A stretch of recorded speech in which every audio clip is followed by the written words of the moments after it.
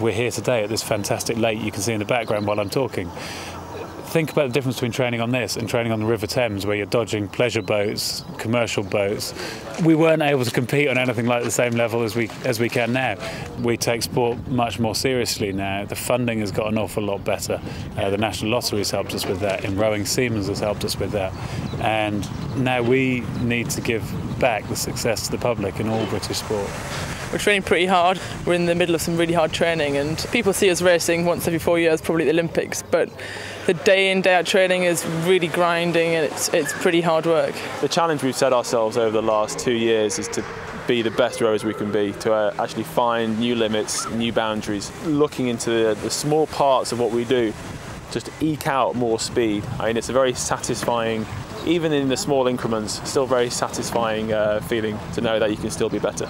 We train three times a day most days, and that training is a sort of hour and a half to two hour session each time. So, I mean, you are literally exhausted for the majority of your life. Um, so, it is a full commitment.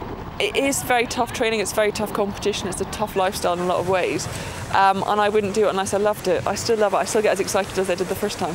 I love setting yourself a challenge and something that's going to hurt, but you really have to push yourself to achieve it. That's that, that's what turns me on in in, in, in some respects. It's amazing just to uh, train around people that are so successful in the sport, and um, I just kind of use them to my advantage and kind of try and learn off them and their experiences. And um, it is a really great team at the moment, and um, I think really good things will happen.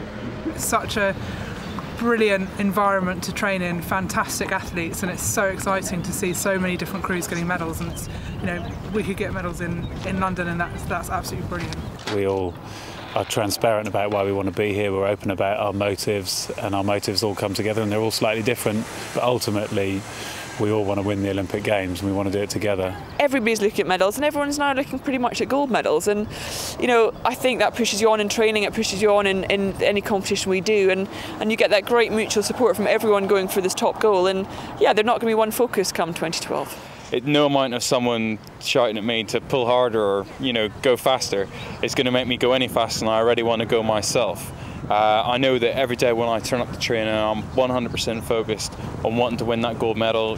London's definitely on the horizon. It's at the back of our minds. Even this morning, the Cox was saying, "Do you want to win at London?" So it's it's a, it's a massive driving force.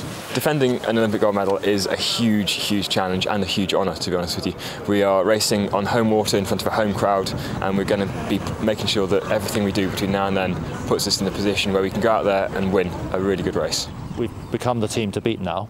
And uh, so for this season, uh, we just need to be a little bit stronger, but perhaps uh, keep our powder a little bit dry and really deliver next year.